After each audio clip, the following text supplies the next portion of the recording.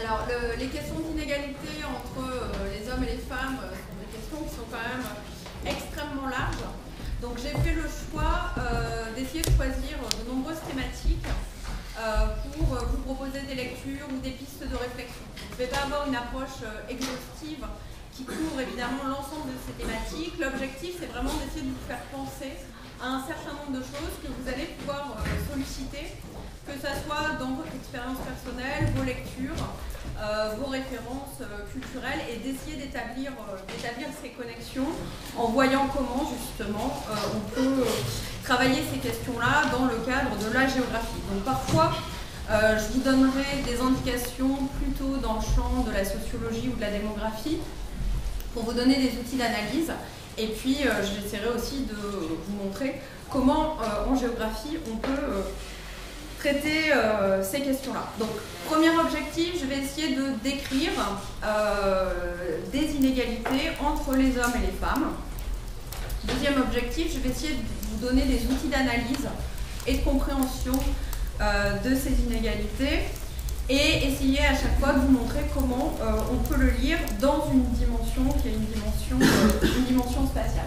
Alors, premier, euh, premier élément, je vous donne toute une liste d'inégalités pour justement vous rappeler un certain nombre d'éléments concernant ces inégalités entre les hommes et les femmes, et en particulier leur universalité.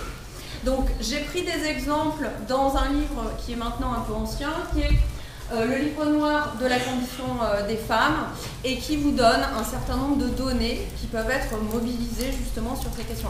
Alors vous ne sentez pas obligé de gratter tous les, tous les chiffres, je vous laisserai à disposition le PowerPoint, donc vous, retrouverez, vous retrouverez ces chiffres-là.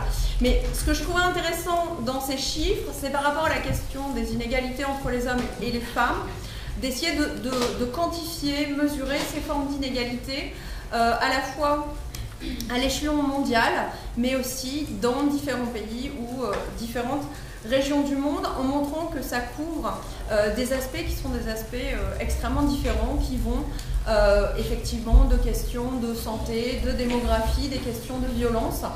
On pourrait ajouter des questions de droit, des questions économiques, et que c'est l'ensemble de ces questions-là qui peuvent être mobilisées pour justement euh, parler de formes d'inégalité. Donc par exemple, en France, les hommes perçoivent en moyenne et en équivalent temps plein un salaire supérieur de 23,5% à celui des femmes. D'après l'Organisation mondiale de la santé, 44% des femmes vivant en Éthiopie ont subi des violences sexuelles, dans le Tamil Nadu, en Inde, les autorités attribuent 45% des décès de bébés filles à l'infanticide et elles ont lancé une campagne qui était Ne tuez pas les petites filles, abandonnez-les. Donc voilà, différents exemples qui montrent que euh, la question des inégalités hommes-femmes est une question qui a une actualité et donc qui doit susciter votre intérêt pour cette question euh, de concours. je vais illustrer cette question-là avec cartes. Là aussi, je ne vais pas m'attarder sur le commentaire euh, de cette carte. Je vous laisserai les documents, je vous laisserai l'analyser plus sereinement. Euh, donc, premier exemple, c'est la carte du sexe ratio que vous avez probablement déjà vue, donc qui fait appel à des questions de, démographie et en particulier au fait que dans un certain nombre de pays, c'est relativement connu, vous avez une préférence pour les garçons. par exemple, en Chine, euh, la politique euh, de l'enfant unique qui a été mise en place euh, dès 1979 a eu un effet sur ce qu'on appelle les naissances manquantes, c'est-à-dire les naissances de petites filles. Et le sexe ratio des enfants des femmes de 50 ans qui n'ont qu'un seul enfant en témoigne. Donc il y aurait en moyenne 120 garçons pour 100 filles et euh, le ratio garçon-fille à la naissance est passé à 124 pour une moyenne euh, euh, donc entre 2000 et 2004. Donc on est très au-delà des normes habituelles qui sont de 105,5. donc c'est un des effets d'une pratique qui est le choix d'avoir un garçon et donc de pratiquer des avortements sélectifs ou alors de traiter les petites filles de manière très inégalitaire, notamment dans l'accès à la nourriture ou l'accès aux soins dans la petite enfance. Donc on a bien là une illustration à l'échelon mondial des effets d'inégalités structurelles dans des sociétés qui sont aussi des sociétés, patriarcales. L'Inde est aussi un, bon exemple, donc je vous laisse regarder euh, euh, les études de cas, euh, notamment dans Géoconfluence sur sexe ratio, vous avez des, données qui vous permettent d'illustrer le cas de l'Inde. Mais ce qui est intéressant, c'est de voir comment ces deux exemples emblématiques sont loin d'être les seuls à l'échelon mondial. D'autres pays sont, sont, concernés. Donc un premier exemple d'inégalité, que la carte du monde permet euh, d'illustrer. Deuxième exemple, c'est la question juridique euh, des droits euh, des femmes, notamment des droits familiaux, et de la manière dont les femmes ne sont pas égales aux hommes dans un certain nombre de pays. Donc je vous renvoie à la question de la justice sociale, et notamment aux travaux de Nancy Fraser, qui va parler de politique de redistribution et de politique de reconnaissance. Euh, dans ce cas-là, on est dans une question de reconnaissance aussi euh, du droit des femmes à égalité avec euh, celui des hommes et donc la question de l'accès aux droits familiaux, politiques, etc., équivalent des hommes, est aussi un des aspects du sujet que vous pouvez illustrer avec de nombreux exemples pris dans différents pays. Donc la question aussi pour les femmes, c'est d'avoir une voix qui va être une voix audible dans un certain nombre de pays du monde où finalement elles n'ont pas accès à une reconnaissance euh, politique et à une égalité euh, en droit. Troisième euh, exemple, je passe toujours très rapidement, c'est les questions d'inégalité en matière d'éducation et donc du moindre accès des filles à la possibilité d'aller à l'école et donc les inégalités qui en, euh, qui en découlent. Alors, ces enjeux-là sont des enjeux euh, extrêmement importants auxquels un certain nombre d'organismes comme l'ONU se sont euh, beaucoup intéressés parce qu'évidemment, par rapport aux politiques de développement, il y avait une volonté très forte d'inciter un certain nombre de pays à favoriser l'accès à l'école des petites filles parce que derrière cet accès à l'école, ce que les politiques voyaient, c'était aussi euh, l'éducation familiale, la socialisation euh, euh, des enfants et donc un potentiel de développement. Donc là aussi, vous voyez, vous pouvez connecter avec des questions de, politique mondiale en lien avec les grands organismes et en particulier de la politique de l'ONU en faveur des filles et de l'incitation que l'ONU a pu faire en direction d'un certain nombre de pays du Sud. Je ne l'ai pas dit, mais a priori, vous l'avez vu sur les trois cartes que je viens de vous montrer, euh, vous avez des inégalités très fortes entre, d'un côté, euh, les pays du Nord et les pays du Sud, entre pays riches et pays pauvres, où ces questions-là se posent avec une acuité évidemment euh, différente. Pour autant, il ne faut pas croire que la question des inégalités entre les hommes et les femmes est une question qui ne concerne uniquement que les pays pauvres ou que les pays musulmans qui est intéressant pour vous, c'est d'essayer d'envisager ces questions-là à différentes échelles. Et je pense que pour le contour, c'est peut-être un des aspects qu'on va euh, attendre de vous, c'est la capacité de pouvoir faire des comparaisons entre ce phénomène à différentes échelles. C'est-à-dire de travailler ces questions-là euh, à l'échelon euh, mondial, mais de voir comment ces inégalités peuvent se reproduire à des échelles, à des échelons qui vont être des échelons euh, régionaux, nationaux, euh, voire euh, des échelons locaux. Donc pour illustrer ça, je vous ai mis différentes images qui vous montrent comment les questions d'inégalité entre les hommes et les femmes peuvent être pensées à toutes les échelles. Donc contrairement à ce qui a pu être dit sur le genre, dans le sens où le genre serait une question qui concerne l'individu et que les géographes finalement, l'échelon individuel, ils ne seraient pas très à l'aise pour le travailler, ce qui est intéressant avec les questions de genre, c'est de voir que ce n'est pas seulement une, histoire d'individu, mais c'est des questions qui peuvent être pensées de l'échelon mondial, comme je l'ai illustré par euh, les trois cartes précédentes, jusqu'à la question du corps euh, des individus. Donc sur la question des corporéités, je parlerai un petit peu de la question des vêtements, Mais pensez aussi que pour beaucoup de géographes anglophones, l'échelon premier de la géographie, c'est le corps, le corps humain. Et sur les questions liées au genre, évidemment, la question des corporéités et des inégalités que ça peut susciter, c'est un élément important. Donc là aussi, si la démographie vous intéresse, vous avez des travaux notamment sur la question de l'obésité et euh, des questions d'inégalité, euh, notamment les travaux de Thibaut de Saint-Paul, euh, qui comparent dans différents pays du monde les questions de corporéité avec les normes corporelles que ça implique. Donc vous avez des formes d'inégalité aussi qui sont liées à ces questions-là. Donc on s'éloigne un peu de la géographie, mais néanmoins, ayez quand même en tête que le fait de penser ces questions-là dans la dimension corporelle de qu'est-ce que c'est que la masculinité, qu'est-ce que c'est que la féminité, ça peut être aussi euh, un élément important. Donc, je vous ai mis euh, différentes images. Je ne vais pas m'attarder sur les cartes du monde. Donc là, vous avez une carte qui est une carte autour de l'alphabétisation des femmes. Je vous ai mis une carte des mobilités en Afrique subsaharienne parce que les mobilités, les migrations des femmes sont un sujet qui est de plus en plus travaillé. Donc euh, pensez aussi aux travaux euh, de Camille Schmoll, pensez à donc, tous ces travaux autour de la question des mobilités, des migrations euh, des femmes, comme étant un des éléments qui va entrer dans la Par rapport à des inégalités de mobilité que les femmes ont pu connaître, c'est intéressant de voir aujourd'hui que dans un certain nombre de pays, les femmes sont majoritaires en termes de migration. Donc euh, derrière l'image du migrant qu'on associe très souvent à une image d'homme, vous avez évidemment euh, des femmes, et des femmes qui pour beaucoup vont travailler dans un certain nombre de secteurs professionnels, comme par exemple le travail domestique. Donc là aussi, vous allez retrouver des formes d'inégalité euh, qui sont liées à la condition de ces femmes migrantes. L'image sur laquelle je vais m'attarder, c'est plutôt l'image de ces suburbs.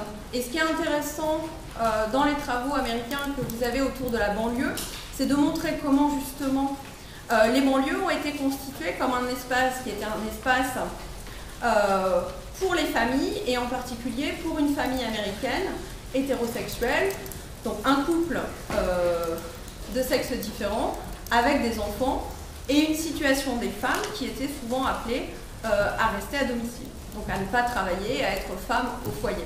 Donc ce qui est intéressant avec cet exemple-là, c'est de voir comment vous avez une organisation spatiale, qui est l'organisation de la banlieue américaine, qui renvoie à une inégalité entre les hommes et les femmes, puisque vous avez une répartition des tâches entre d'un côté les hommes qui sont euh, les pourvoyeurs des revenus de la famille et des femmes qui restent à domicile pour s'occuper euh, des enfants, de la maison, etc. Donc là, vous avez vraiment une articulation entre une organisation sociale euh, qui est celle de la famille, et sa traduction euh, spatiale, qui est euh, la structure des banlieues des classes moyennes américaines.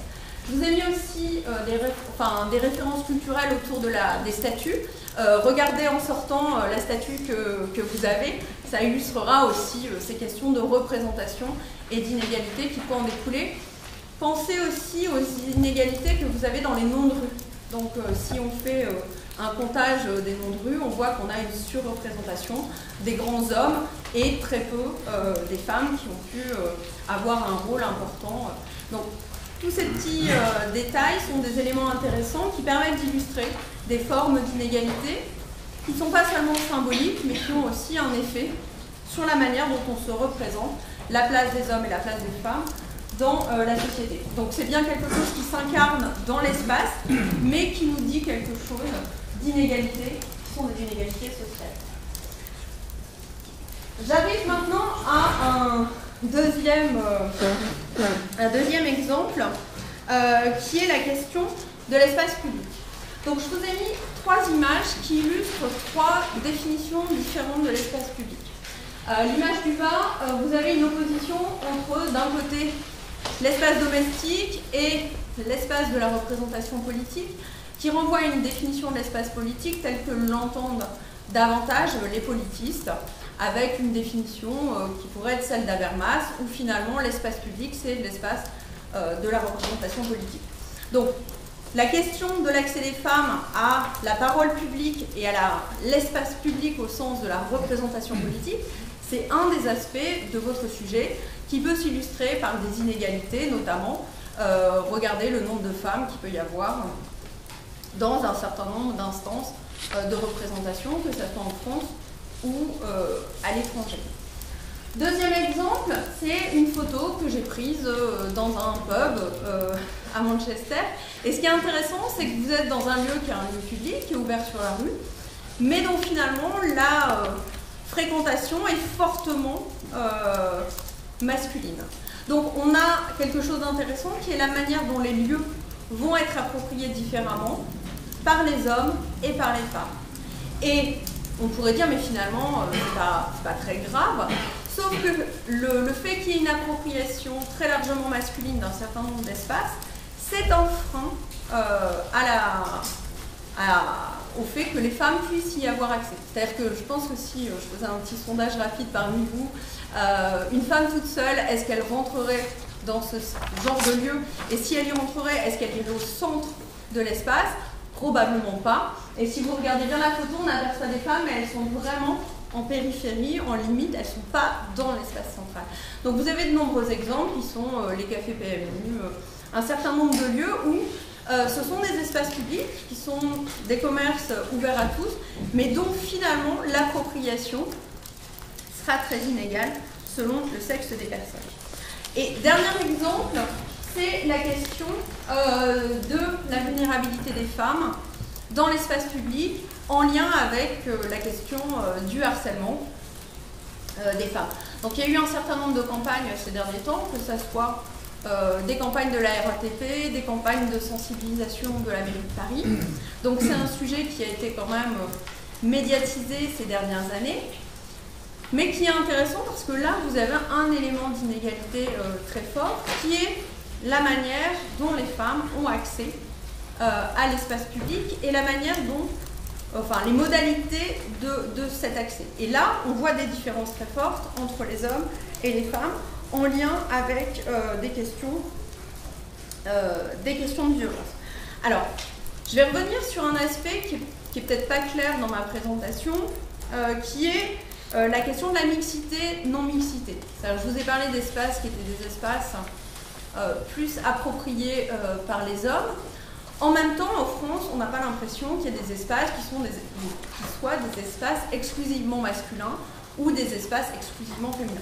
Finalement, c'est très rare. On va trouver quelques exemples. Par exemple, dans les sous-marins, vous allez avoir des espaces qui sont des espaces exclusivement masculins. Euh, dans certains euh, salons de beauté, vous allez avoir une interdiction euh, d'accès faite aux hommes. Mais finalement, dans la société française, contrairement à d'autres sociétés par exemple dans le, Maghreb ou euh, euh, des, sociétés euh, du, Golfe Persique, finalement, la question de la séparation des hommes et des femmes, c'est pas quelque chose qui est usité et en tout cas c'est pas quelque chose qui est visible. Ce qui fait dire à Irving Goffman, dans l'arrangement des sexes, qu'on a plus à faire à une coprésence des sexes, finalement, qu'à une séparation stricte des sexes ce qui rend la, lecture de cette coprésence relativement euh, difficile. Donc pour Irving Goffman, on a un type de relation sociale bien particulier qui est entre ségrégation et indifférenciation, où les hommes et les femmes sont finalement ensemble, mais séparés. Il dit on n'a pas tant dans l'ensemble affaire à une ségrégation qu'à une ségrégation périodique qui rythme le cours de la journée, ce qui garantit que les différences culturelles peuvent être réaffirmées et rétablies par la mise en présence des sexes. C'est comme si la réunion des sexes n'était tolérable qu'à la condition qu'une échappée périodique soit possible, comme si euh, l'égalité et la ressemblance étaient une mascarade dont il faudrait périodiquement se départir. Et tout cela, donc il me semble que les arguments qu'il mobilise sont assez intéressants, au nom de la délicatesse, de la civilisation et du respect dû aux femmes, ou du besoin naturel des hommes de se retrouver entre eux. Et vous allez voir tout à l'heure comment justement les arguments moraux euh, sont des arguments qui sont aussi mobilisés pour justifier euh, la séparation entre euh, les hommes et les femmes. donc je vous parlais de la question des violences envers les femmes dans l'espace public. Alors aujourd'hui, euh, il y a les données de la nouvelle enquête sur les violences qui sont en train d'être traitées à l'INED. C'est une enquête qui s'appelle Virage. Donc euh, les données euh, devraient sortir très prochainement. Moi, je dispose uniquement des données qui étaient les, données de l'ancienne enquête, qui était l'ancienne l'enquête en VEF, donc l'enquête des violences envers les femmes, dont les données sont anciennes puisqu'elles datent de, de 99. Ce qui était intéressant dans cette enquête-là, euh, c'est finalement de voir que les femmes, euh, en particulier euh, les jeunes femmes, étaient fortement exposées à un certain nombre d'interpellations dans l'espace public. En particulier, sur la tranche 20-24 ans, 24,9% des femmes interrogées avaient subi dans les 12 derniers mois des insultes ou des menaces verbales. 12,4% avaient été suivis et 8,9% euh, avaient euh, fait face à un exhibitionniste. Alors, pour. Euh, ce que montre aussi cette enquête, c'est que plus la taille de l'agglomération est grande, plus finalement le, le, harcèlement sexuel dans l'espace public est important. C'est-à-dire que pour une commune de moins de 2000 habitants, on est à un indice global de harcèlement sexuel qui est inférieur à 5%, là où pour l'agglomération parisienne, il est de plus de 15%. Donc ce qui est intéressant pour un géographe, c'est aussi de voir que euh, avec l'augmentation de la taille de la ville, l'exposition des femmes à ce, harcèlement sexuel est aussi quelque chose de plus, euh, de plus important. Alors, quel effet ça produit sur les femmes.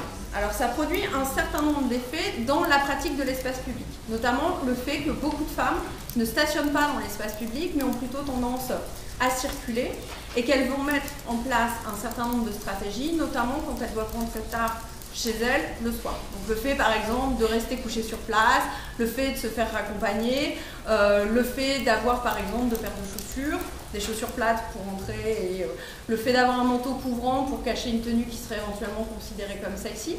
Donc voilà, toute une série de stratégies dans l'espace public, dans la présentation de soi, pour éviter euh, de faire face à ce harcèlement.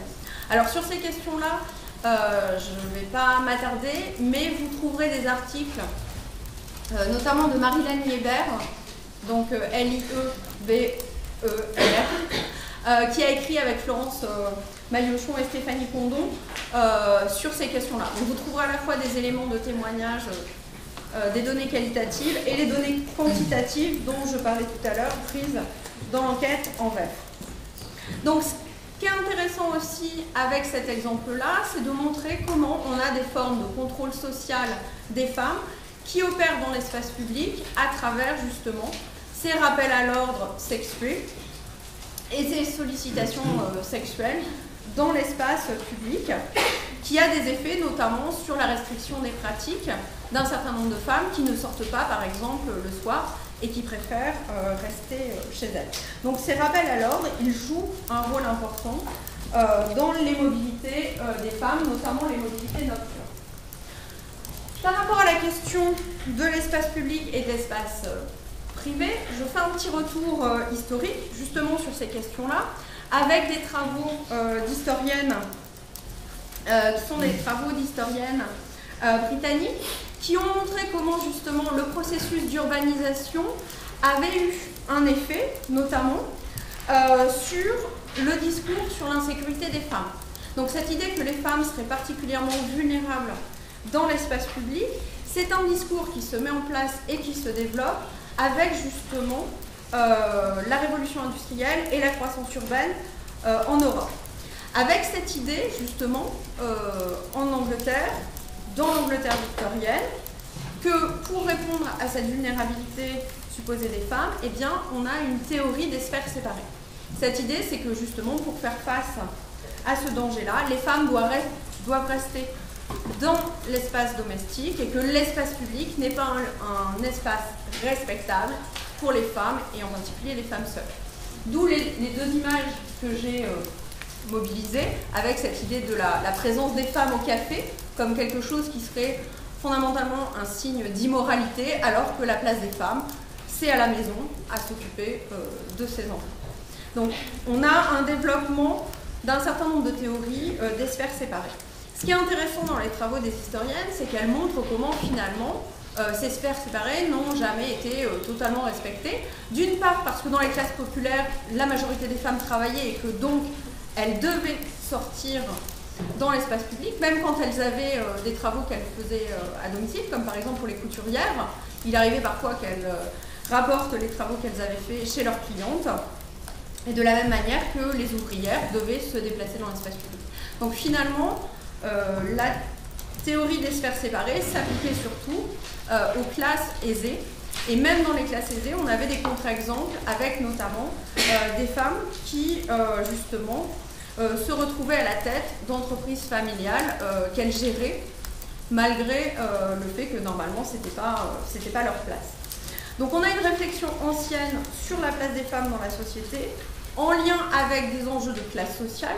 Donc ça ne s'applique pas de la même manière aux femmes des classes populaires et aux femmes euh, de la haute bourgeoisie ou de l'aristocratie. Et on a aussi des enjeux moraux que j'ai essayé de souligner par cette image, qui est une photo euh, d'une artiste qui est euh, assez connue, qui donc a mis sur sa jambe un certain nombre de traits qui correspondent à des jugements moraux. Cette idée qu'une femme qui aurait une jupe très longue, ça serait une femme qui serait vraiment une femme très prude, et que par contre, plus la taille de la jupe aurait tendance à se réduire, plus au contraire, le jugement serait négatif et la taille de la jupe indiquerait une certaine légèreté morale, voire une certaine disponibilité sexuelle de la femme qui la porte. Euh, alors, ça peut sembler anecdotique, mais ça n'est pas tant que ça parce que ces questions de vêtements des femmes, c'est parfois des arguments qui sont mobilisés dans des procès, notamment en cas de viol.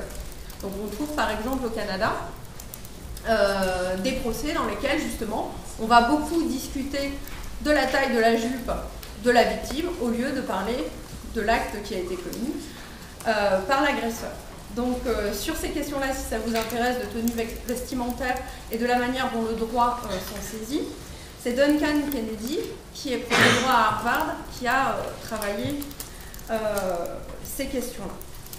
Donc je m'attarde pas trop, mais vous voyez que la question de la présentation de soi, des vêtements, de la manière dont les femmes sont habillées dans l'espace public, c'est aussi une source d'inégalité importante qui engage des jugements moraux.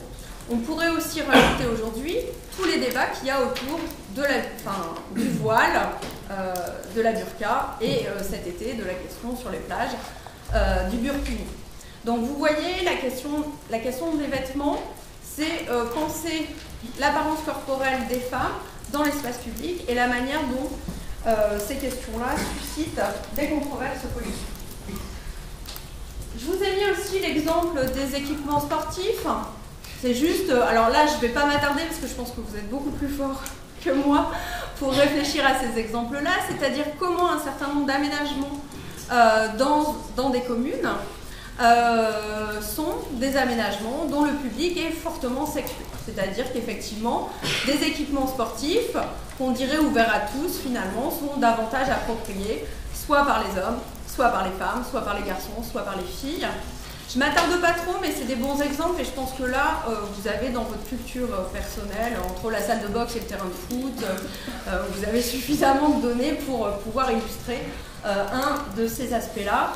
Si vous voulez davantage d'informations, c'est Yves Rebaud qui a travaillé euh, cette question-là, avec notamment euh, l'exemple des, euh, des skateparks, sachant que dans les skateparks, on voit aussi beaucoup de filles, mais qu'elles ne font pas forcément le même usage du skatepark que les garçons, et que la cohabitation entre les deux est justement un élément d'observation intéressant. Exemple suivant, alors là aussi, je ne vais, je vais pas m'attarder, mais euh, euh, je voulais faire le lien avec les questions de géopolitique.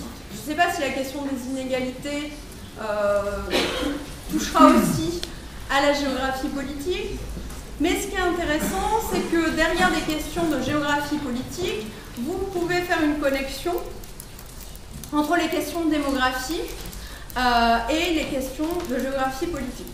Donc je vous ai mis un tableau de Poussin qui illustre l'enlèvement des Sabines et ce qui est intéressant dans cet épisode qui est l'enlèvement des Salides, qui est l'élément fondateur de la ville de Rome, c'est que effectivement, vous ne pouvez pas avoir de fondation de ville avec uniquement des hommes. Pour qu'une ville puisse exister, perdurer, se reproduire, pour qu'une société se reproduise, vous avez besoin de femmes. Et donc, l'enlèvement euh, des Sabines et le conflit euh, qui s'ensuit est un élément d'illustration euh, intéressant parce qu'aujourd'hui, vous avez des enjeux géopolitiques autour des questions démographiques. Pensez par exemple à la question démographique entre Israël et la Palestine. Donc ce qui est intéressant dans cet exemple démographique, c'est de voir aussi comment les femmes sont un enjeu extrêmement important pour la reproduction d'une population. Et donc, les inégalités dont on a pu parler tout à l'heure, et l'assignation qui est faite aux femmes de ce travail de reproduction et d'éducation des enfants, il vient aussi du fait que justement, il y a un enjeu central pour une population, si elle veut se maintenir dans le temps, que les femmes, justement, assurent ce travail de reproduction.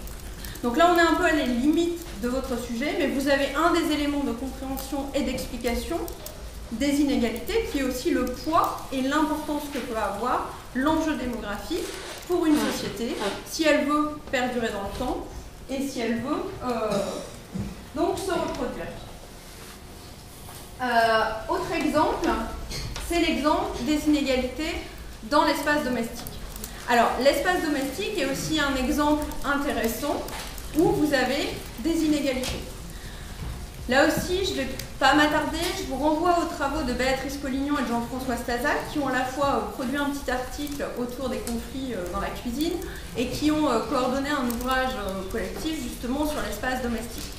Donc ce qui est intéressant, à travers l'exemple des pièces de la maison, de leur organisation et de la manière dont cet espace domestique a été pensé par les architectes, de voir aussi euh, des formes d'inégalité. Et ces formes d'inégalité, qui sont des inégalités spatiales, renvoient aussi à des inégalités sociales, notamment dans la répartition du travail domestique. Donc là, c'est pareil, je vous ai mis des données qui sont des données l'INED, qui, qui, datent un peu, qui sont des données de 2005. On peut en trouver euh, des plus récentes. Donc la manière dont justement les différentes euh, tâches vont être réalisées euh, exclusivement par les femmes, à égalité par le couple ou exclusivement par, les hommes. Donc vous voyez que dans le cas du repassage, on est à plus de 60% par une tâche qui est exclusivement réalisée par les femmes. Dans le cas des repas, on est à plus de 40% par une tâche qui est réalisée par les femmes. L'aspirateur, on est à 30-35% réalisé par les femmes, etc. Euh, je ne vous ai pas mis les données qui montrent comment justement ces inégalités au sein du couple vont s'aggraver avec l'arrivée du premier enfant. Donc ce qui est intéressant, c'est que euh, l'arrivée du premier enfant, loin euh, d'être un élément de rééquilibrage de la répartition euh, des tâches au sein du couple, conduit à un surcroît de travail qui revient aux femmes. Et ce qui est intéressant, c'est de voir comment justement, aujourd'hui, dans une société où la majorité des femmes travail, eh bien les femmes continuent largement à assumer cette double journée de travail. Donc là aussi, vous avez des, formes d'inégalité qui ont un impact évidemment euh, à la fois sur des questions euh, de transport, sur la question de qui va chercher euh, les enfants à la sortie de l'école, et qui peut avoir aussi des incidences sur la fréquentation d'un certain nombre de lieux et de services. Alors là aussi, il faudrait regarder comment ça impacte les pratiques des femmes qui habitent dans les centres-villes et les femmes qui habitent par exemple en grande banlieue et qui ont des temps de transport qui sont des temps de transport euh, extrêmement importants. deuxième, deuxième aspect que je voulais illustrer, donc là j'ai principalement parlé des inégalités entre les hommes et les femmes. Maintenant, ce qu'il faut voir par rapport à la question des, inégalités, c'est que jusqu'à présent, me situais dans un référentiel qui était un référentiel hétérosexuel. Finalement, la structure de référence, c'était le couple hétérosexuel et c'était la famille hétérosexuelle. Or, parmi les éléments d'inégalité qui structurent la société, vous avez aussi des questions qui sont des questions liées à la sexualité et en particulier au poids de la norme hétérosexuelle dans la société. Qui fait que par exemple, pour des couples de même sexe, eh bien, vous avez des formes d'inégalité importantes. Alors, pour l'illustrer avec un exemple géographique, j'ai pris la question euh, du baiser. Qu'est-ce que ça signifie pour un couple de même sexe de pouvoir s'embrasser publiquement dans l'espace public? Ce qui est intéressant, c'est de voir que dans la pratique, beaucoup de personnes utilisent une espèce de casuistique, c'est-à-dire ils disent je vais embrasser mon compagnon ou ma compagne, pas n'importe où, pas n'importe quand. Et ce pas n'importe où, pas n'importe quand, ça revient à une forme de casuistique qui est assez intéressant parce que ça amène à avoir une lecture de l'espace très particulière et à voir comment finalement une pratique sociale pourrait être possible ou pas dans certaines configurations euh, spatiales. J'ai mis en illustration euh, de photos. Une photo qui était une affiche pour un salon qui était le salon Rainbow Attitude, qui avait lieu euh, à Paris en 2005. Quand euh, les organisateurs de ce salon ont proposé cette affiche à la RATP, la RATP a censuré cette proposition en disant on ne peut pas montrer dans l'espace public un couple de même sexe, donc il y avait la version féminine, la version masculine, qui s'embrassent, ça pourrait choquer euh, les enfants. Quand vous voyez un certain nombre de pubs qu'il peut y avoir pour des films d'horreur ou euh, pour euh, des pubs de lingerie, c'est assez intéressant de voir comment à un moment donné on va mobiliser le fait que ça peut choquer les enfants. Donc là vous avez des inégalités autour de qu'est-ce qui est à sa place dans l'espace public, qu'est-ce qui a droit de citer, qu'est-ce qui est montrable et qu'est-ce qui n'est pas montrable.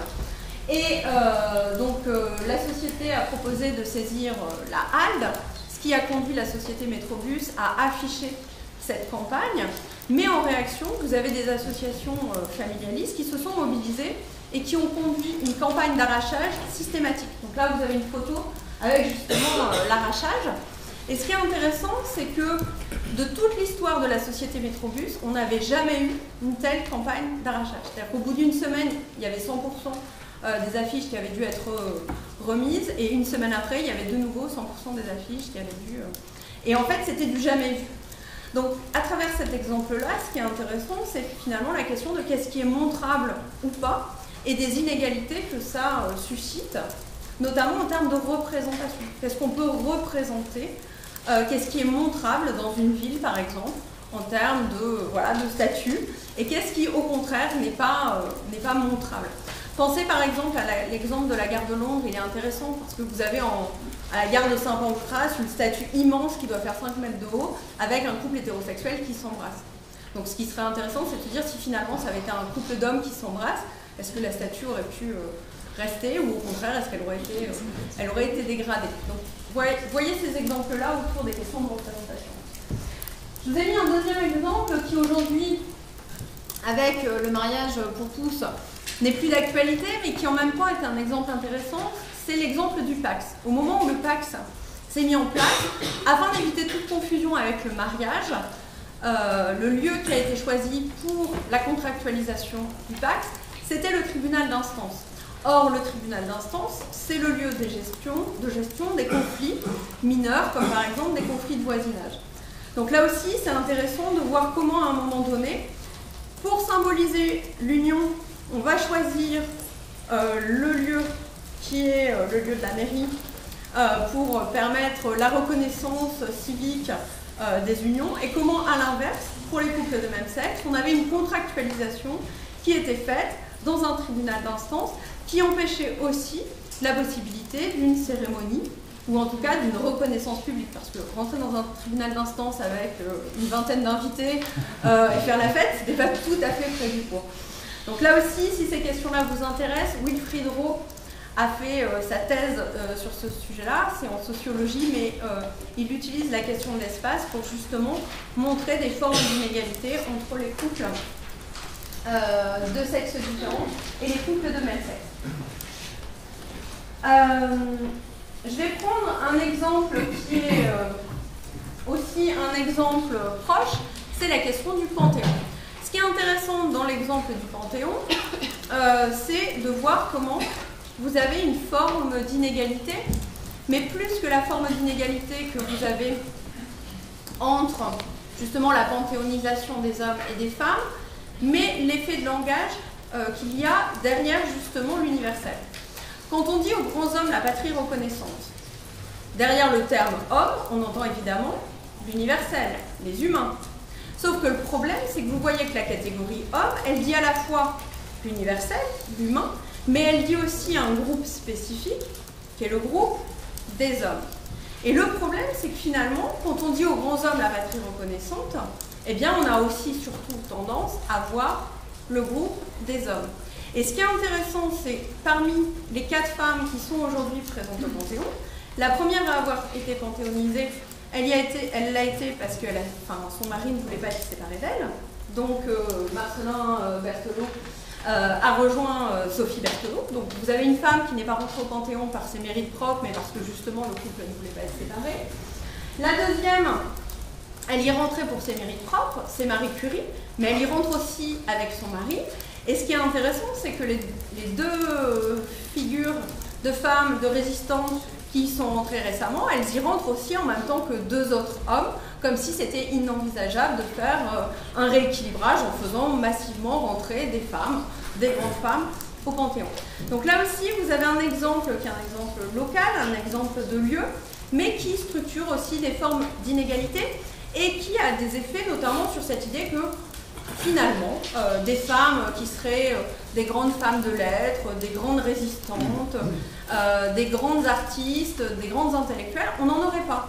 Cette idée que par exemple des femmes qui seraient des grandes scientifiques, on n'en aurait pas. Alors qu'en en fait, il y en a, mais c'est aussi des femmes qui ont été très largement oubliées par l'histoire. Et pour certaines femmes, ça a été beaucoup de femmes qui sont restées dans l'ombre parce que c'était l'assistante, enfin les assistantes ou les épouses euh, d'hommes qui ont aussi largement tiré les bénéfices de leur travail. Donc là, vous avez une articulation entre du social et du spatial.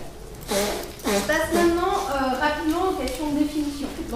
Jusqu'à présent, j'étais sur l'usage du sexe comme variable descriptive d'inégalité entre les hommes et les femmes. Ce qui est intéressant avec une approche de genre, c'est que justement, vous allez avoir des outils d'analyse pour justement pouvoir comprendre ces formes, euh, ces formes d'inégalité. Alors, euh, l'élément, je vous ai mis un, exemple des stéréotypes, euh, enfin un, exemple qui est censé illustrer la question des stéréotypes. Et ce qui est intéressant, c'est de montrer comment justement, à partir de ces stéréotypes, on peut penser une forme de naturalisation euh, de qualité qui serait le propre des hommes ou le propre des femmes. Donc les stéréotypes sont des éléments euh, intéressants parce que les stéréotypes, c'est aussi des éléments qui vont justifier des formes euh, d'inégalité. Donc, par exemple, les femmes ne savent pas conduire ou les femmes n'ont pas le sens de l'orientation. C'est des exemples intéressants parce que c'est des exemples qui ont une traduction géographique. Les anthropologues, justement, se sont saisis de cette question-là et ils ont essayé de, penser cette question des représentations des inégalités. Euh, Françoise Héritier, elle parle de valence différentielle des sexes. Donc pour elle, on a quelque chose qui est de l'ordre d'un universel. Cette idée que le masculin vaut toujours plus que le féminin dans la majorité des sociétés. Elle dit L'observation ethnologique nous montre que le positif est toujours du côté du masculin et le négatif du côté du féminin. Cela ne dépend pas de la catégorie elle-même. Les mêmes qualités ne sont pas valorisées de la même manière sous toutes les latitudes. Non, cela dépend de son affectation au sexe masculin ou au sexe féminin. Par exemple, chez nous, en Occident, actif est valorisé. Il est donc, enfin, cette qualité est associée au masculin alors que passif, moins apprécié, est associé au féminin. En Inde, c'est le contraire. La passivité est le signe de la sérénité. La passivité ici est masculine et elle est valorisée. L'activité, vue comme toujours un peu désordonnée, est féminine et elle est dévalorisée. Donc ce qui est intéressant dans son exemple, c'est qu'elle prend une qualité qui est exactement la même, elle montre comment dans deux sociétés différentes, elle est attribuée au masculin ou au féminin, mais avec toujours un principe hiérarchique qui s'applique aux hommes. Donc ça, c'est un élément intéressant parce que justement, ça va être un des fondements des inégalités, enfin une des justifications qui est avancée pour justifier des inégalités. Donc cette idée qu'on a une naturalisation, euh, une naturalisation des comportements qui va légitimer euh, les inégalités. Donc cette idée que bah, les femmes, elles restent au foyer, euh, elles sont moins mobiles parce qu'en gros, elles sont plus maternelles et que c'est à elles de s'occuper des enfants, par exemple. Donc la question de la naturalisation, c'est justement une des justifications des inégalités et un des éléments qui va justifier la hiérarchie entre les sexes sous couvert de complémentarité. Ce qui est intéressant avec cette question de la naturalisation, c'est que pendant très longtemps, elle a été fondée sur des arguments biologiques. Cette idée que les hommes étaient plus forts que les femmes et que les femmes étaient seules aptes à euh, enfanter. Euh, aujourd'hui, on voit comment on a eu un déplacement de la biologie vers le psychologique, avec cette idée que les femmes seraient plus sensibles, là où les hommes seraient par exemple plus rationnels. Alors ce qui est intéressant, c'est que ça a aussi un effet euh, dans la classe sur des effets de jugement par rapport, par rapport aux élèves et sur des effets de, perception qu'on vous renvoie aux travaux qui sont faits notamment en éducation sur ces questions-là, où justement on voit les effets que ça peut avoir sur la notation et sur mais je ne m'attarde pas. Donc sachez que vous n'échappez quand même pas à titre individuel à ces questions-là, même si ce n'est pas de la géographie. Euh, d'où l'idée que le genre est une construction euh, sociale, que ce n'est pas quelque chose qui est donné biologiquement, mais que c'est le produit euh, d'une société, c'est le produit d'une histoire. Alors, je vous cite rapidement Simone de Beauvoir, évidemment, qui dit On ne naît pas femme, on le devient. Aucun destin biologique, psychique, économique ne définit la, figure que revêt au sein de la société la domaine humaine. Si bien avant la puberté, et parfois même dès sa toute petite enfance, elle nous apparaît déjà comme sexuellement spécifiée, ce n'est pas que de mystérieux instincts immédiatement la vouent à la passivité, à la coquetterie, à la maternité, c'est que l'intervention d'autrui dans la vie de l'enfant est presque originelle et que dès ses premières années, sa vocation lui est impérieusement insufflé. Donc, la question de la socialisation et des effets que ça a en termes de production des inégalités, c'est une piste intéressante. Alors, pour clore cette question-là, euh, je vous cite les travaux d'une neurobiologiste qui s'appelle Catherine Vidal, qui est intéressante parce que justement, euh, c'est toujours un argument qui revient, cette idée euh, de différence entre le cerveau des hommes et le cerveau des femmes. Et euh, Catherine Vidal, qui a travaillé sur ces questions-là, elle dit Rien n'est jamais figé dans le cerveau, sans arrêt il est en construction, des connexions se font et se défont entre les neurones en fonction de l'apprentissage. Ainsi, pour elle, les différences qu'il va y avoir entre un garçon et une fille sont pas tant entre un garçon et une fille, mais dans la manière dont le cerveau fonctionne. Elle dit les différences de cerveau entre individus d'un même sexe sont plus importantes qu'entre des individus de sexe opposé. Il y aura donc plus de ressemblance entre les cerveaux d'un homme et d'une femme pianiste qu'entre le cerveau de deux hommes, si l'un est pianiste et l'autre footballeur. Donc c'est intéressant parce qu'elle permet de penser des comparaisons qui ne sont pas des comparaisons hommes-femmes, mais des comparaisons entre des groupes qui ont des usages différents euh, de leur cerveau. Alors, par rapport à la question de la définition du genre, je vous ai donné différents éléments de définition. Euh, ce qui me semble intéressant, c'est de revenir à la définition de l'encyclopédie. Dans l'encyclopédie euh, de Diderot et d'Alembert, le terme genre apparaît. Mais il n'apparaît pas dans le sens où on l'entend aujourd'hui en sciences sociales, mais il apparaît comme une opération de classement. Donc, euh, je cite l'encyclopédie, le terme genre s'applique à une collection d'objets réunis sous un point de vue qui leur est commun et propre. Donc ce qui est intéressant derrière ces questions de sexe et de genre, c'est de voir comment à un moment donné, on va opérer des classifications en mettant ensemble un groupe de personnes et en le différenciant d'un autre. Donc par rapport à votre réflexion sur les questions d'inégalité, ce qui est intéressant, c'est de voir comment se structurent les groupes. Pourquoi est-ce qu'à un moment donné, on aura des inégalités entre les hommes et les femmes? Pourquoi sur d'autres aspects on aura des inégalités qui sont des inégalités par âge ou des inégalités euh, par euh, pays euh, d'origine ou des inégalités liées à la classe sociale, etc. etc. Donc essayez de comprendre justement comment s'opèrent ces opérations de classement, sur quels critères conventionnels justement on va faire cette classification? Alors, pour beaucoup euh, de sociologues, ce qui est important, c'est différencier le sexe, qui est une variable descriptive, donc homme-femme, du genre qui ne renvoie pas à homme et à femme, mais justement à ce qui sous-tend une opération de catégorisation. Donc derrière la question du genre, on va justement avoir un outil d'analyse qui permet d'observer euh, des différenciations entre les hommes et les femmes.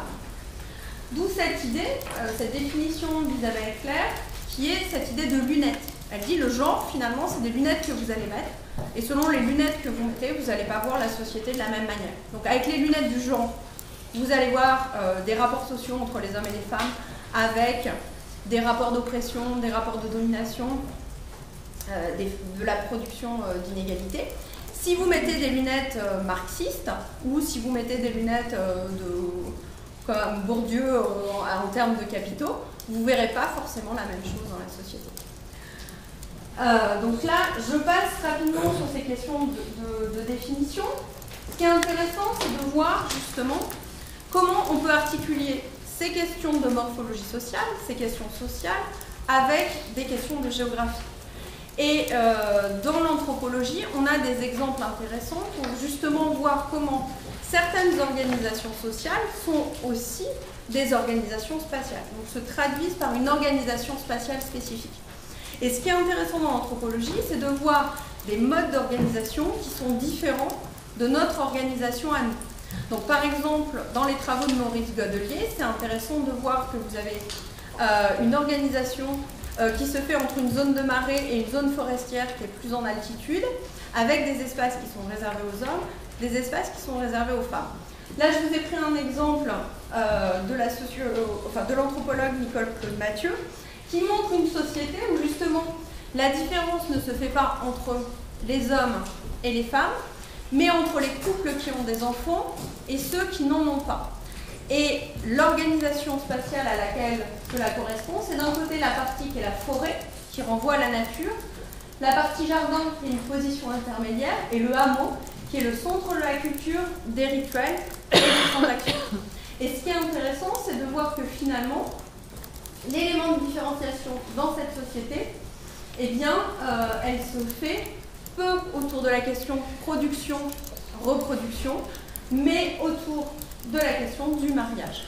Euh, donc là aussi, voir comment euh, des organisations sociales différentes renvoient à des formes d'organisation spatiale différentes et donc produisent des inégalités qui ne sont pas forcément les mêmes que dans notre société.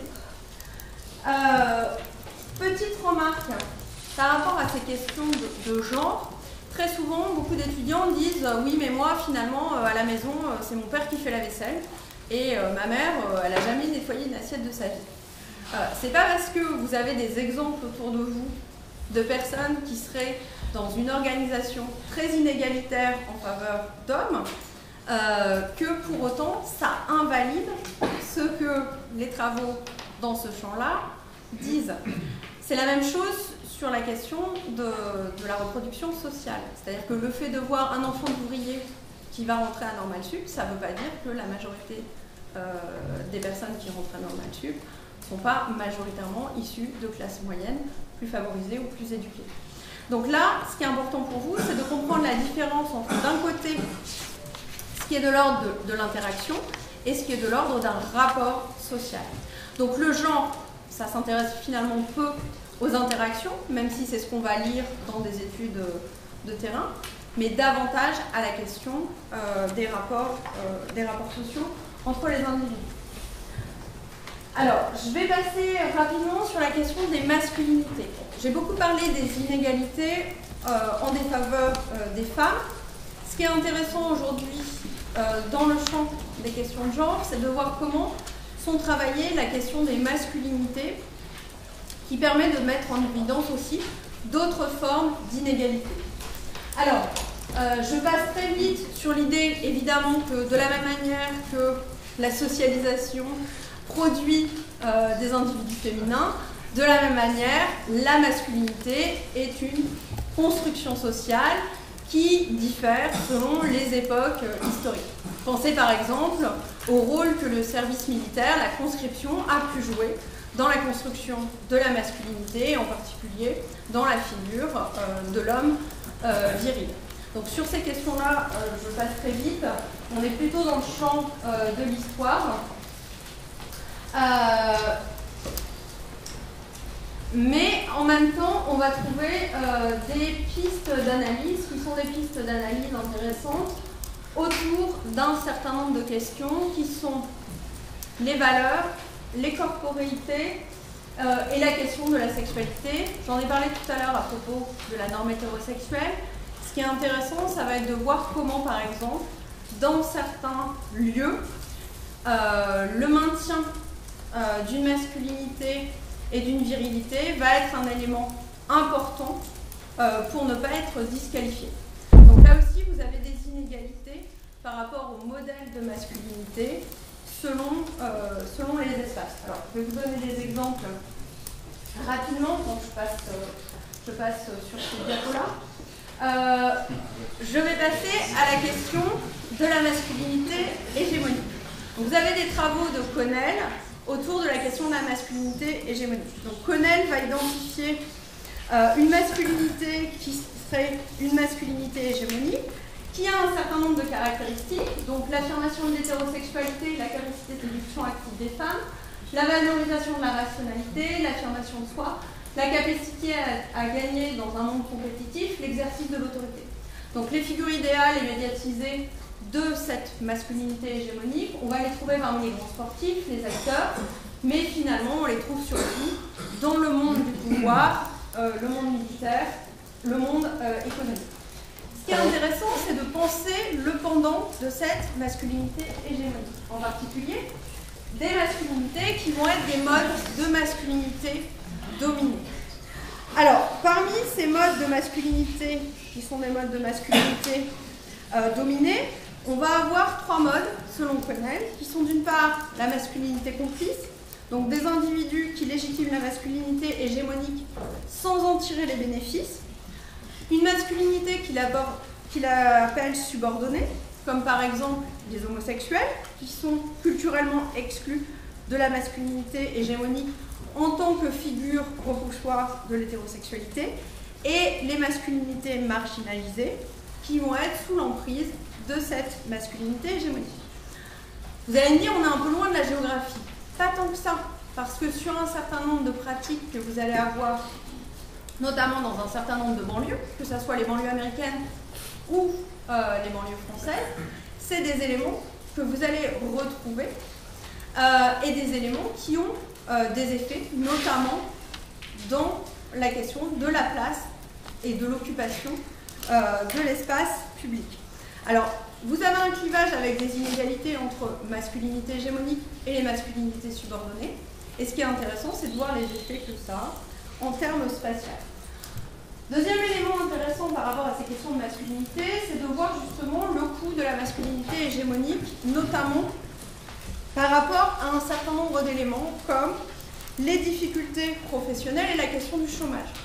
Donc le fait qu'un homme se retrouve sans emploi et se retrouve dans l'espace domestique, c'est un élément euh, intéressant qui a été beaucoup travaillé par les sociologues, en voyant comment justement euh, cette inversion du rapport entre l'assignation des hommes à la sphère euh, de la production et des femmes à la sphère de la reproduction peut conduire à un, certain nombre de situations qui sont des situations extrêmement compliquées. Donc, par rapport à la question des inégalités, pensez aussi les inégalités entre les hommes et les inégalités en termes aussi d'accès à l'emploi. Euh, puisque la démographie fait partie visiblement euh, du champ un peu élargi de ces questions-là, pensez aussi à la question dont la stérilité et les difficultés sexuelles peuvent se poser euh, aux hommes et être une source justement d'inégalités importantes. Autre élément, c'est la question des conduites à risque. Alors la question des conduites à risque, là aussi, c'est un domaine dans lequel vous allez trouver des formes d'inégalité qui sont des formes d'inégalité euh, importantes. Donc je passe rapidement sur la question des conduites, euh, des conduites à risque. Mais là aussi, vous voyez, euh, on a des inégalités où l'exposition à un certain nombre de, risques sera beaucoup plus forte chez les hommes que chez les femmes, ce qui aura une traduction notamment en termes de mortalité. Donc quand on regarde des données sur la mortalité, notamment les accidents de la route ou par rapport à la consommation d'un certain nombre de produits, on va avoir des inégalités entre les hommes et les femmes. Il reste un quart d'heure, alors je vais passer rapidement à la question de l'intersectionnalité. Donc, vous voyez, je suis partie du sexe, j'ai montré les inégalités entre les hommes et les femmes. Je vous ai abordé rapidement la question de la masculinité pour euh, vous rappeler que parmi les inégalités, ce n'est pas seulement des inégalités entre les hommes et les femmes, on a aussi euh, des inégalités euh, au sein du groupe des hommes entre la masculinité hégémonique et des formes de masculinité subordonnée, et que ça a des formes de traduction spatiale, notamment en termes d'accès à l'espace public. Je me dépêche. La question de l'intersectionnalité, elle pose des formes d'inégalité qui sont des formes d'inégalité croisées, notamment la question de la classe sociale et la question, dans le vocabulaire des sciences sociales états-uniennes, la question de la race. Alors, pour illustrer ça, je vous ai montré, enfin, je vous ai mis euh, un exemple qui est euh, la manière dont euh, Viola Davis a, reçu une consécration et lors de son discours, l'argument qu'elle a mobilisé. Donc Viola Davis disait la seule chose qui sépare les femmes de couleur de n'importe qui d'autre, ce sont les opportunités. On ne peut pas gagner un Emmy pour des rôles qui n'existent tout simplement pas. Donc ce qui est intéressant, c'est cette idée de ligne invisible, cette idée que dans la société, vous avez des lignes entre les individus et que cette ligne, elle n'est pas franchissable, notamment pour les femmes de couleur.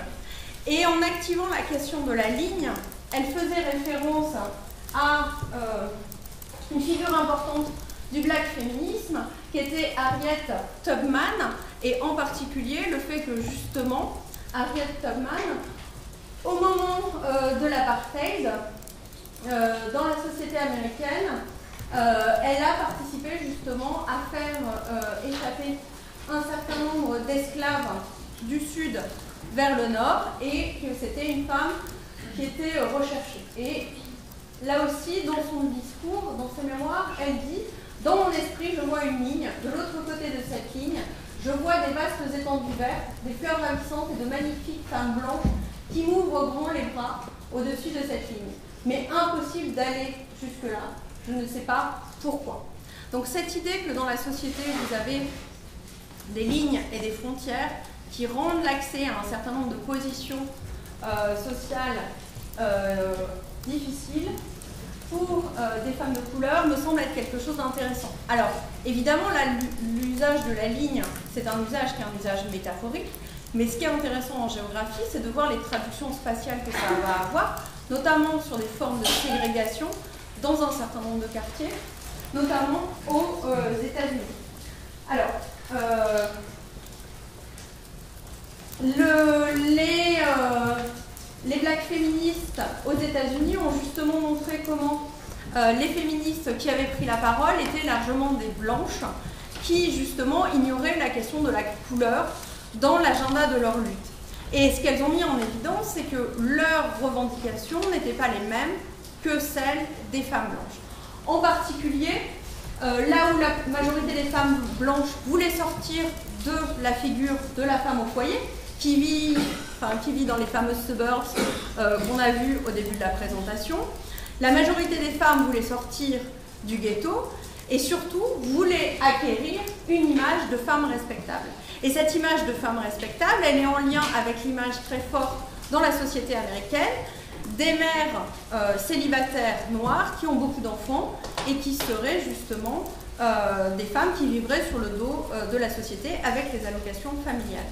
Donc vous voyez comment d'un côté les femmes blanches essayent d'avoir accès au marché du travail et à justement obtenir une résorption des inégalités par rapport aux hommes blancs et avoir accès notamment au marché du travail, là où les femmes euh, noires essayent d'obtenir une reconnaissance de leur rôle de bonne mère dans la société américaine. Donc ce qui est intéressant à travers cet exemple-là, c'est de penser non pas des inégalités qui seraient juste de sexe, mais des inégalités qui ont tendance à se combiner et à s'intriquer, et donc qui rendent l'analyse beaucoup plus compliquée. Puisque là, euh, vous voyez, ça engage à la fois des questions de classe sociale, des questions de race, et des questions qui sont des questions euh, de sexe. Pour finir, je voulais vous euh, renvoyer aussi à l'actualité de ces questions-là en France aujourd'hui, autour de la reconnaissance justement des, des personnes qui sont des personnes racisées, notamment autour de marches qu'il y a eu l'année dernière.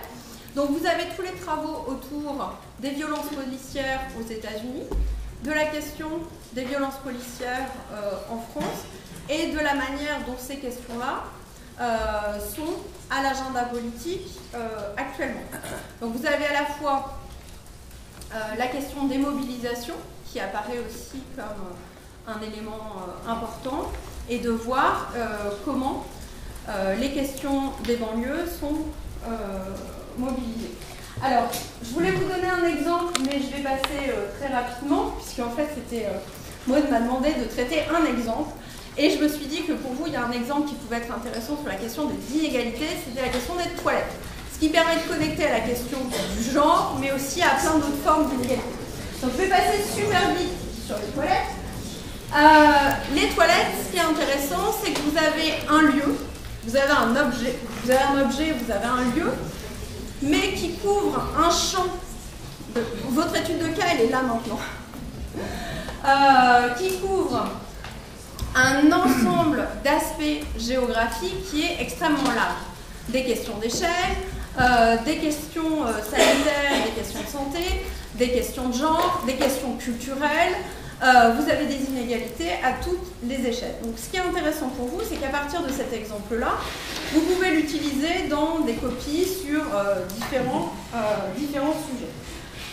Donc je vous ai mis tout un tas de mots-clés qui renvoient à ces questions de toilette, donc justice sociale, justice spatiale, inégalité d'accès, les conséquences en termes de santé publique et de mortalité, la question des éboues, de l'eau et des conséquences environnementales qui sont liées aux toilettes, les questions de localisation, la question de police, de mœurs et de civilisation, les questions d'urbanisme et d'hygiénisme, la ville, les logements, l'espace public, l'espace domestique, les lieux, l'usage, les représentations, le genre, la sexualité, l'intimité. Donc vous voyez, on est sur un sujet qui permet de couvrir différentes thématiques.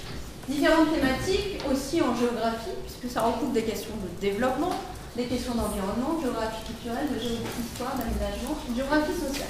Alors, J'illustre la question euh, des échelles à travers différents documents. Donc vous voyez, on, revient à ce que je vous montrais en premier.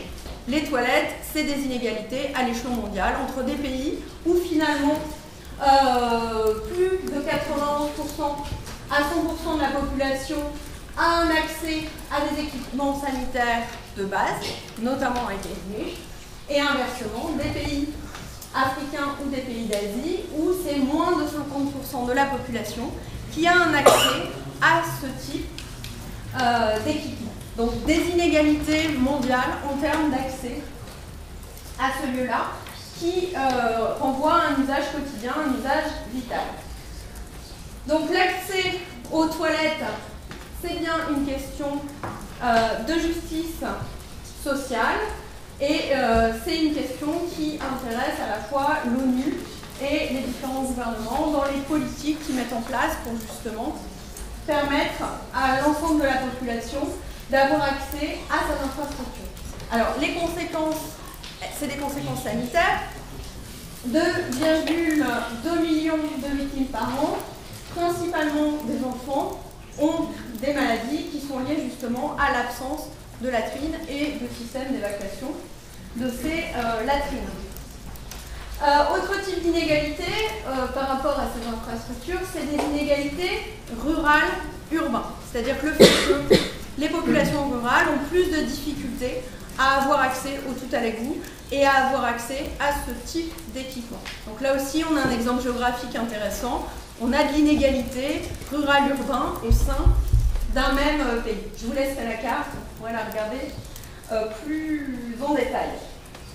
Ces inégalités, vous les retrouvez aussi À l'échelon des villes, par exemple dans la ville de Paris, ce qui est intéressant, c'est de voir que dans certains quartiers, on est encore sur des immeubles qui sont très largement vétustes, où justement, vous avez encore les toilettes sur le palier et pas dans les logements. Donc là, je vous ai mis des exemples de photos pour illustrer ça. C'est à la fois le cas des populations qui vivent dehors, évidemment, les populations SDF, les migrants et les réfugiés qui euh, vivent dans les rues de Paris et pour, lesquels la question d'accès justement à des toilettes est importante et des logements vétus dans lesquels on n'a pas de sanitaire. Donc je passe super vite, je suis vraiment désolée. Et je retombe sur la question du sexe. Euh, vous avez euh, un édicule qui est fortement genré, puisque effectivement, dans les aménagements qui sont faits dans les aménagements urbains, quand vous avez des pissotières, l'usage est exclusivement masculin. Donc par exemple, la ville de Paris a installé ce type euh, d'édicule pour justement éviter que les hommes urinent dans la rue.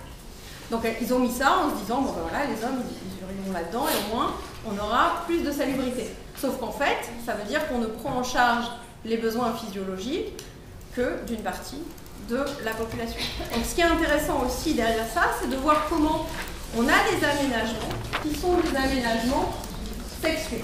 Et dernier élément intéressant à travers l'exemple des toilettes, c'est de voir comment la différenciation entre un lieu pour les hommes et un lieu pour les femmes, sachant que, à l'exception des urinoirs, c'est le même lieu, il est intéressant parce qu'il crée aussi de la différenciation sexuelle.